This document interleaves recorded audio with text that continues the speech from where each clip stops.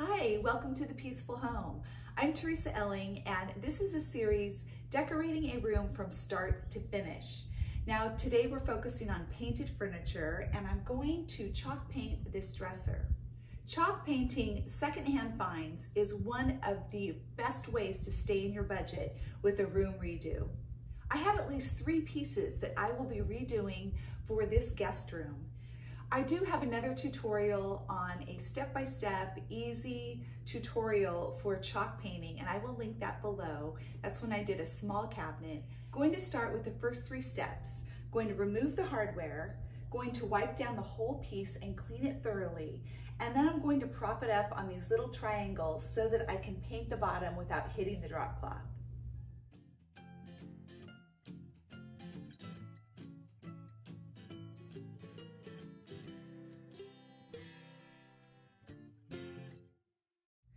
Once in a while, a screw from the hardware will dig all the way down into the wood. And so you need to add some washers, possibly a longer screw to repair that. I actually have a video on that, repairing drawers in this way. It is super simple. I will link that below in case you've ever encountered this problem. It will show you exactly how to fix it. You wanna make sure to put all of your hardware and the screws in a very safe place. So I suggest a container where you can put them aside and nothing will get lost. Then you're ready to clean. It's amazing the dirt and even spider webs that are underneath the hardware. So even if you don't wanna change out your hardware, it's necessary to remove for cleaning and for painting.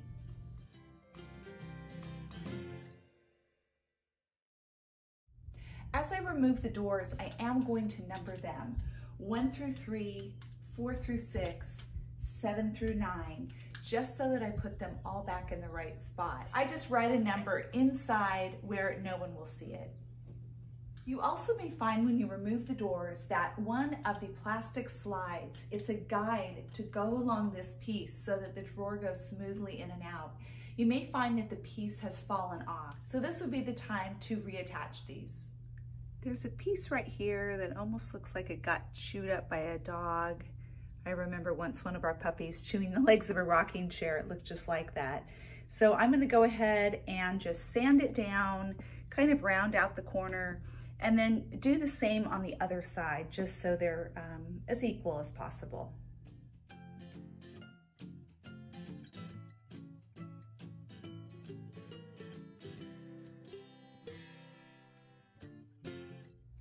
The only other sanding that would be necessary is if you really want a smooth finish and you've got nicks and dings that you want to sand smooth. Um, this is a laminate top. I have never painted a laminate top with chalk paint. I'm really excited to try this because it supposedly works. Um, I can remember in the 90s painting pieces with primer first and an oil-based primer and then paint and even then it seemed like you would be able to scratch the paint off. Um, just nothing adhered well. Even sanding the surface didn't work. So I'm gonna give it a try and see what happens. One thing you don't wanna do is sand off a finish like poly and leave the raw wood if it's a dark wood and you're painting a very light color like white because the tannins in the wood will actually come through your white paint. So in those cases, I actually recommended that you seal the wood Put one coat of poly on just to keep that color from bleeding through. And when it's thoroughly dry, you can chalk paint after that.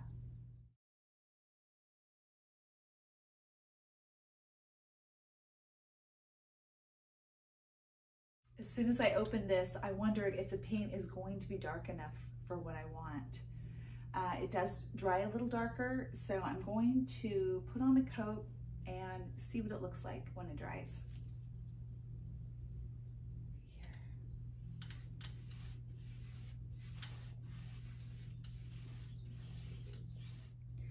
One of the best ways to tell your paint color is to put it on a white piece of paper.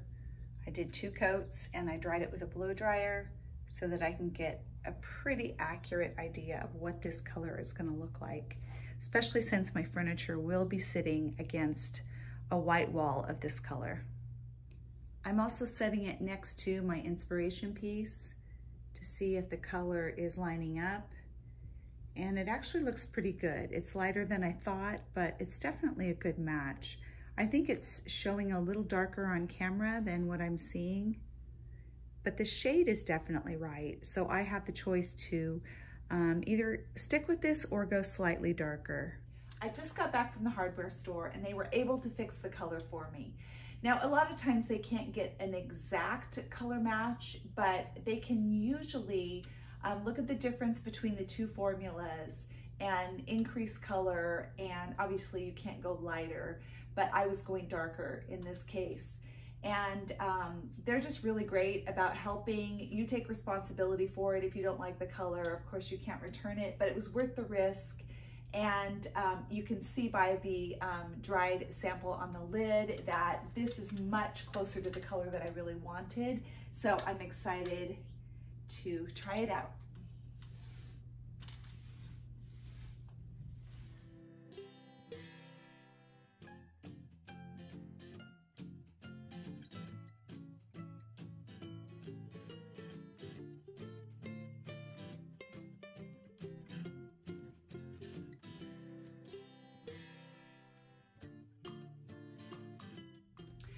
I need to cut in along here the top and the bottom, but I realized that this front is so flat, a roller would really work well for this.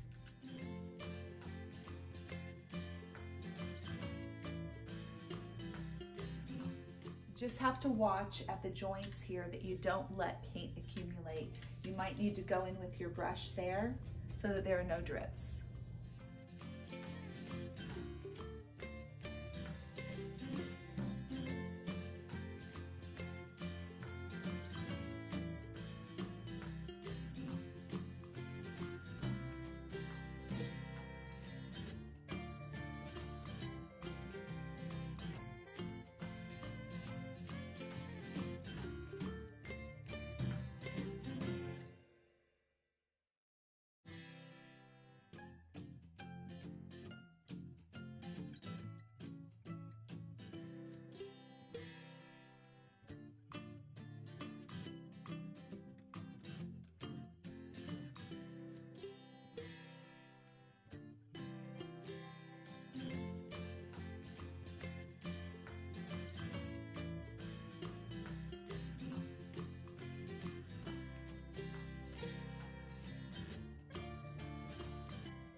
On the drawers like this, I'm just going in the sides with the paintbrush and then rolling the top.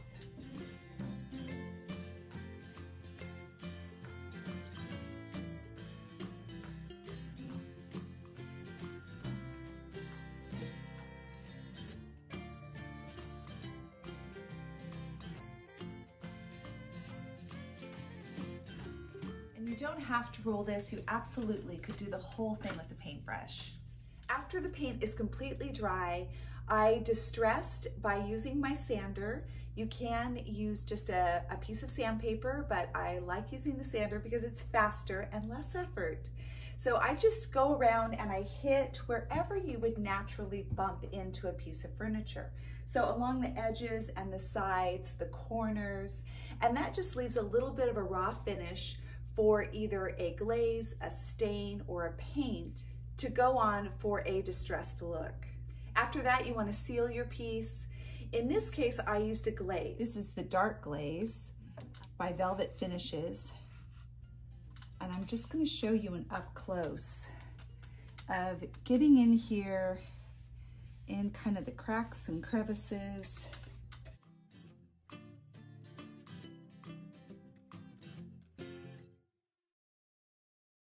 This drawer is pretty small, so I'm gonna go ahead and do the whole thing.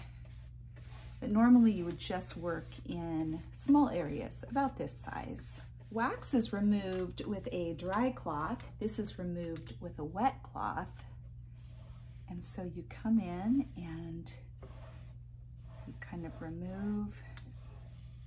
And what happens is the wax gets stuck in these grooves and it just kind of brings some depth to the piece, gives it a little bit of an antiqued finish. And when it's left to dry, it will create a durable finish. It's also sinking in to the parts that I sanded. And that really can't be removed because now it's raw wood. So the glaze is going to settle into those areas and it can be wiped off a little bit, but not fully. Now I followed the manufacturer's instructions and it seemed to go fine on the drawers and the small areas. But as soon as I got to the sides and the top, I began to have a problem. I just couldn't seem to wipe the glaze off fast enough before it began to set. And I had to rinse my rag several times, which isn't that unusual, but it just still wasn't working right. In the end, the look was a little bit blotchy and it didn't have a nice finish.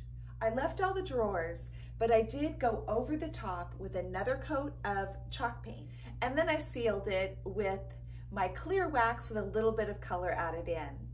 The wax gets wiped off as well, but this time with a dry rag rather than a wet one, and you leave it overnight to dry. In the morning, all you have to do is take a soft dry rag and buff it to a slight sheen. This turned out to be a much better result and I was finally happy with it. This is what the hardware looked like before.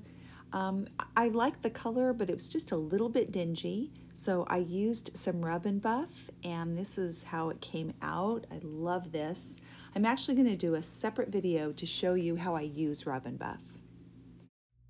I did run into a few more issues painting this dresser than I normally do. I had to deal with the paint color, with the glaze finish, and redoing with a wax finish. But in the end, I really do love this piece. I think it's beautiful. I think it is transformed from what it looked like before, and now it's going to be a perfect addition for my guest room.